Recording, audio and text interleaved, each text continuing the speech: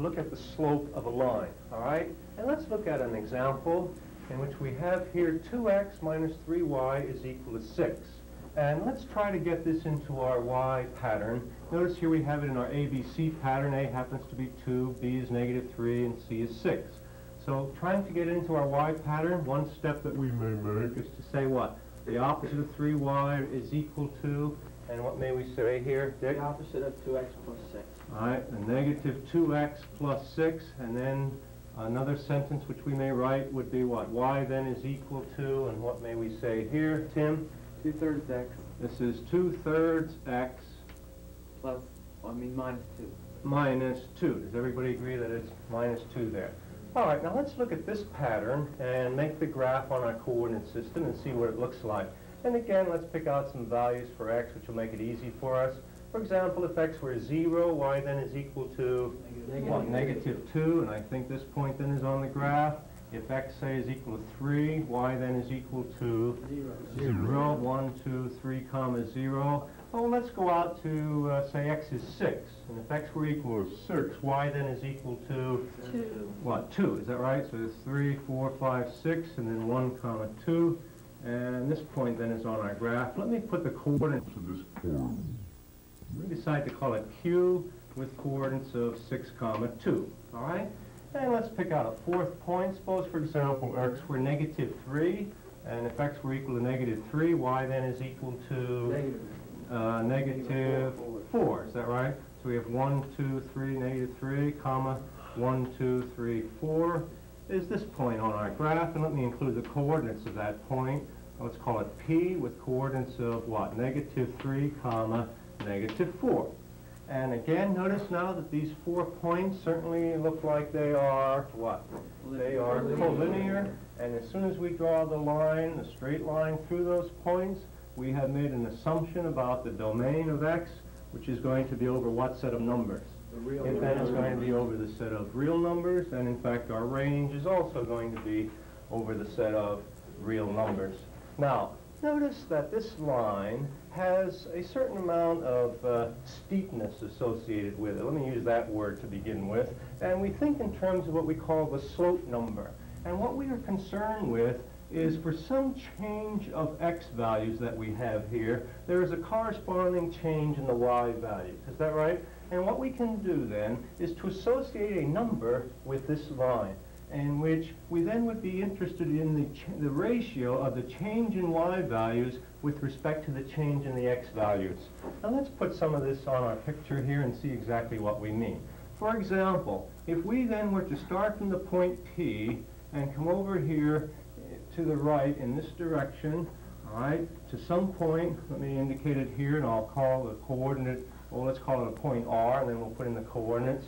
And then from the point R, there is some change in our y values, is that right? Up to this point, call it Q.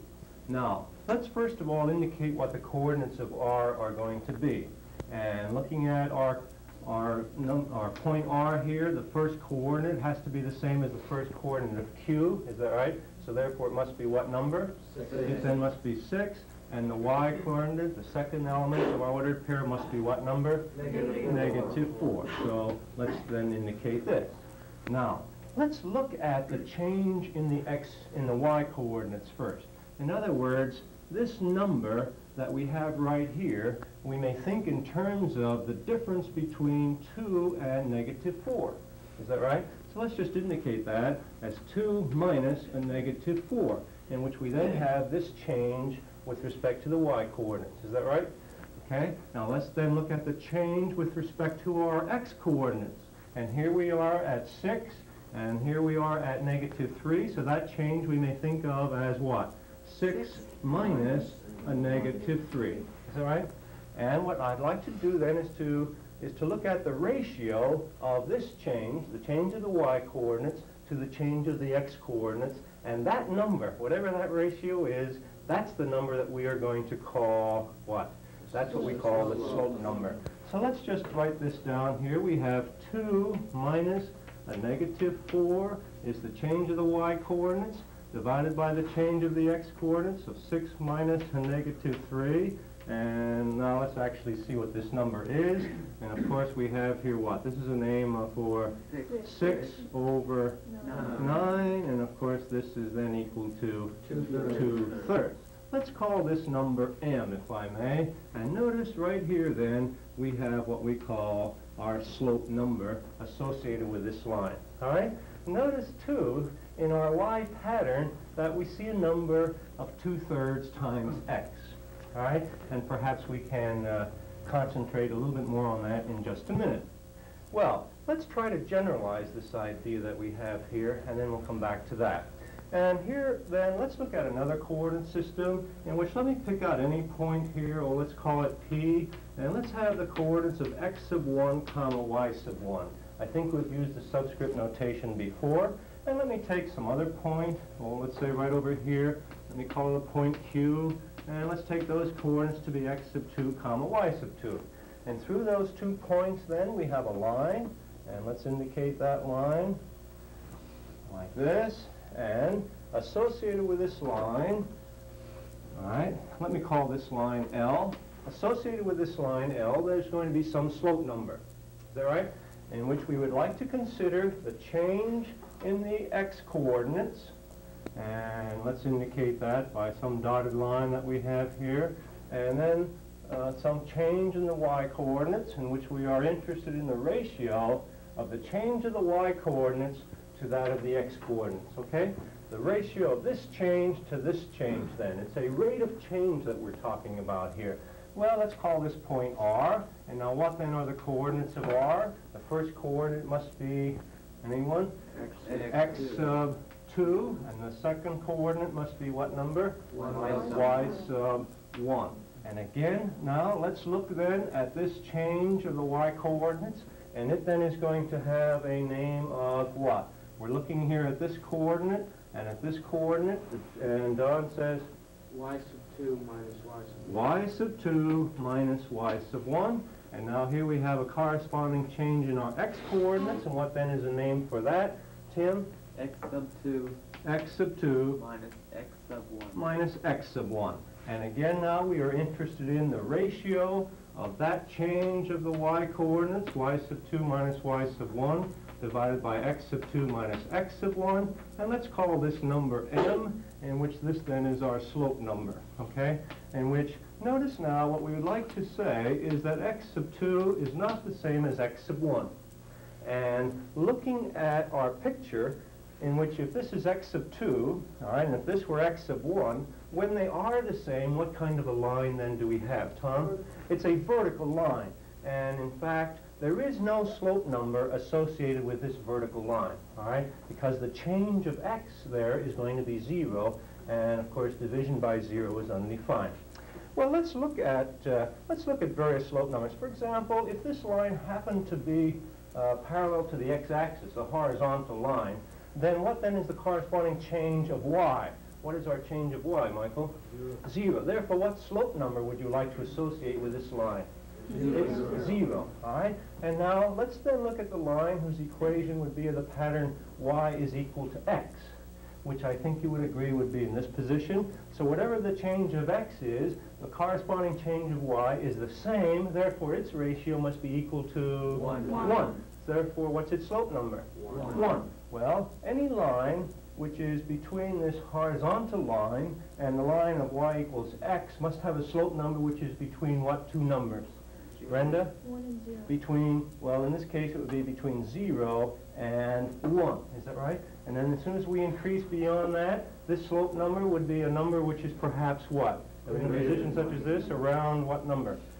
Well, any one, uh, any number around perhaps 2, and then here it might be around the number Three. 3 or 4. Notice here that the- for this change of x, there is a greater change of y, a greater corresponding change of y.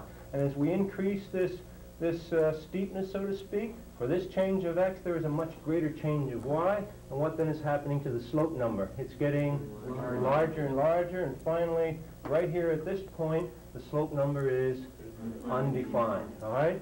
Now, let's then start out here again at a horizontal line, and the slope number there is zero. And what then is the slope number of the line of the pattern y equals the opposite of x? What then, it's equal to negative one. Therefore, what's the slope number between here and there? And Kirby? Negative one half. Well, between this position, which is a slope of zero, to this position of the line, which is a slope of negative one, our slope numbers would vary over what uh, set of values, Dick? Between zero and negative one. Between zero and negative one. And then a slope number such as this would be approximately equal to, Negative two. Negative two, say, and a negative five, and a negative 17. And finally, uh, we're going to what? To a number, negative a thousand. And then finally, it, in this position, it is undefined. Okay. Well, let's then come back and look at our uh, first example again for just a second. And notice here we have our 2x minus 3y is equal to 6. This is in our ABC pattern of ax plus by is equal to c. And then we rewrote that and looked at the pattern of y is equal to 2 thirds x minus 2, in which we notice that there is the same number 2 thirds here as the slope number. And the question is, is this merely a coincidence, or is there some relation that exists between them? Well, let's look over here at our, uh, let's uh, look at the general case of ax plus by is equal to c, and getting it in the same pattern, suppose we were to subtract ax from both sides as the opposite of ax plus c, and then dividing both sides through by by b, we have the opposite of a over b times x plus c over b. Of course, b cannot be equal to 0, because if b were equal to 0, again, looking here at our, at our special case, if b were equal to 0, you have a pattern of 2x equals 3, therefore x would be equal to, I'm sorry, 2x is equal to 6, x then would be equal to 3, and what kind of a line is that? That's going to be a, a vertical line, and of course that's the case in which we said that there is no slope. Well, uh, looking at this uh, general case here, uh, do you think that possibly the slope number associated with ax plus by is equal to c would be what number? Just looking here at our uh, y pattern, Brenda? The opposite of A over The opposite of a over b. Well, let's state that as a theorem and see if in fact we cannot prove it, okay? In which we would like to say that the slope, the slope of ax plus by is equal to c, and let's indicate where b is not equal to 0 is, and Brenda says the opposite of a over b. Okay? And let's see if we can't actually prove this statement, and uh, let's see how it might go. Now, rather than my numbering the steps as we normally do and putting in the reason for that, let's just uh, simply indicate what our, our process of reasoning might be, and I think that we can justify each step as we go along. Let's then look at our picture in number two here and rely on this picture in order to help us. And notice there that we have p with coordinates of x sub 1 comma y sub 1. That certainly is on the line L. Let me refer to the line L and q is uh, with coordinates of x sub 2 comma y sub 2 also belongs to the line L. Is that right? Now, we have been saying all along that if a point P is on a line, then the coordinates associated with that point must do what? Must uh, satisfy this equation. Is that right? Therefore, what can we say but that a times x sub 1 plus b y sub 1 is equal to c must be true. Is that right? And we can also say, what about the second point, that uh, it, its coordinates must satisfy the equation, so therefore we have what? What may we say here? Uh, anyone? Bill? A x sub 2 plus a b, x sub 2 plus b y sub 2 equals c. is equal to c. Again, now let's look at this pattern, and uh, Let's try to get y sub 1 equal to something, and just as we have done before, we may subtract uh, ax sub 1 from both sides and divide by b. Therefore, what may we say here? y sub 1 is equal to, and how we, may we write this? Tom? Negative ax sub 1. The opposite of a divided by Oh, b, B, right. x sub 1, okay, Plus C. plus, I think we're dividing here by b. All right, c over b, is that right? And then in this case, solving this for, uh, what, this should be a y sub 2. Solving this one for y sub 2, what then may we say here? And Tim, Y sub two y sub 2 equals negative A over B, the opposite of A over B, uh, times x sub two, x sub 2, plus C over plus B. C over D. Okay? Everyone agrees that these equations must be true. Now what I'd like to do with these two, notice that we're looking at our slope as the change of the y coordinates divided by the change of the x coordinates. So looking at these two equations, you say to yourself, well, let's look at y sub 2 minus y sub 1 and see what happens. All right? In other words, let's subtract uh, this equation from our, our equation on the right. So when we do so, we then will have what? y sub 2 minus y sub 1.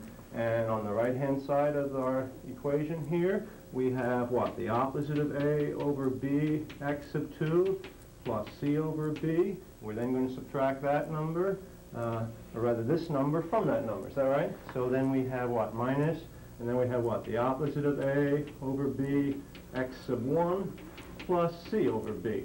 Everyone agree with that? Okay, now let's just clean up that right-hand side and see what it looks like. Well, there is the opposite of a over b, x sub 2. And now when we remove our parentheses here and use our distributive property and what have you, c over b minus c over b is equal to 0. And here we then have the opposite of the opposite of a over b, x sub 1. So we have what? Plus what? a over b, x sub 1. And now let's look at that, and now let's use our distributive property again and look at the opposite of a over b. All right? And if we use our distributive property with uh, the opposite of a over b, what then is going to be left in here, Brenda? X squared minus, I mean, Uh, X sub. x sub 2 Minus X sub. minus x sub 1. Does everybody appreciate the fact that it's minus x sub 1 there? Well, again, let's just remind ourselves of what the definition of slope is. Namely, it's the ratio of the change of the y coordinates to that of the change of the x coordinates. So just then looking at this step, what then, let me just indicate y sub 2 minus y sub 1 here. And what now would you like to do to both sides in this case? And Peter? Divide by x sub 2 minus x sub 1. Good. Divide by x sub 2 minus x sub 1, and therefore we have y sub 2 minus y sub 1 divided by x sub 2 minus x sub 1, and lo and behold, that turns out to be equal to, Peter? The slope. That's then, well, in this case, we have the opposite of A over B. We have already said that this is the slope number, therefore what is our conclusion about the opposite of a over b? But that's the slope number, okay? Let me, uh, well, let me indicate this as m, which uh, is a popular letter that we can use to indicate the slope number, okay? Let's then look at another example, and I think that's probably all that we need to do for today. Let's take two points with coordinates, p, say, of negative 3 comma 4, and q with coordinates of 4 comma 2. Now, actually, on the basis of the definition, you don't have to make any picture in order to be able to find the slope number between these two lines, between these two points. But let's uh, actually uh, make the coordinate system and make a graph on that coordinate system. At p with coordinates of negative 3 comma 4, 1, 2, 3, 4, we have this point, p with coordinates of negative 3 comma 4, and q has coordinates of 1, 2, 3, 4 comma 2, will be this point, q, with those coordinates. And let's draw the line joining those two points, passing through those two points, and it will look something like this. Is that right? Okay? Now, from the point Q, let's start from the point Q. If we were to start from the point Q, notice that the change of the x coordinates is to the left. So therefore, what number would you associate with that change? Michael? A negative number. So then if you were to think of going from Q to P, the corresponding, the change of the, of the x coordinates, in this case would be this negative number, all right, which I may indicate in this fashion, and then the corresponding change in the y coordinates is going to be what kind of a number? A positive number. Certainly, with the position of our line as we have it here, we know that our slope number is going to turn out to be what kind of a number? It's going to be negative and probably between where, between 0 and negative 1. Well, let's then uh, think in terms of the picture that we have here, and if we then were to look at the uh, at our change of the y coordinates, which is positive, is that right? We then would have what? 4 minus 2. Looking there at our picture, we have 4 minus 2. divided by, that's the ratio of the change of the y-coordinates to that of the change of the x-coordinates. And now, since we start out here with 4 minus 2, what's the corresponding change in the x-coordinates? It then must be what? Negative 3 Minus- minus 4. And looking at that, 4 minus 2, of course, is 2, divided by negative 3 minus 4 is negative 7, but uh, we have always said that this is then equal to what? The number negative 2 sevenths. And so we say that that then must be the slope number. Now, suppose someone else started at the point P, all right, and then went, the, made the corresponding change in x coordinates to the right, first of all. And then, once one is at this point, what then must be the corresponding change of the y coordinates? If this then were a positive number, that corresponding change in the y coordinates must be, Michael, a negative number. So let's then indicate that in this pattern, okay? Now, if one then were to set up the slope number, let's call it m again, what then are we concerned with? The change of the y-coordinates would then be what? 2 minus 4, is that right? So there we have 2 minus 4 divided by the corresponding change in the x-coordinates. So what then is the corresponding change in the x-coordinates, Dick? Four minus negative three. 4 minus a negative 3. Well, of course, 2 minus 4 is Negative. negative 2, divided by 4 minus a negative 3 is Seven. positive 7, and of course, we have called negative 2 over 7 the same number of negative 2 sevenths. And notice here then that our two slope numbers are the same. So whether one starts from one point P and goes to Q, or from Q to P, as long as you keep your corresponding coordinates in the same order, indeed you always end up with the same slope number. Okay? Well, I think that's all that we should do for today, so let me give you your homework assignment. This will be